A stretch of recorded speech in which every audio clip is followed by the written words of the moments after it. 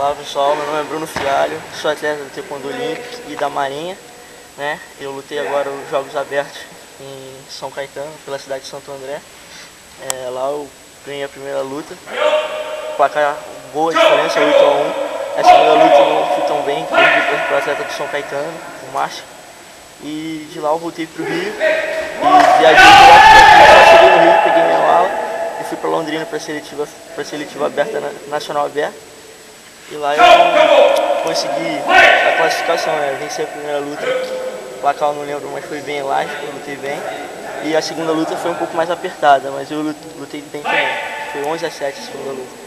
Aí eu consegui a vaga, na final me preservei, eu estava com o dedo machucado, preferi não lutar. O outro atleta cedeu, eu ainda fiquei com, o primeiro lugar. Agora treinar forte para a seletiva de, de dezembro. A expectativa é classificar para janeiro. E se Deus quiser, tudo der certo, entrar para a seleção. Um abraço aí, pessoal. Um abraço aí para a galera do, do site, para a galera do, do Rio de Janeiro e para todo mundo aí que está aí no Torçam site. por você. Obrigado.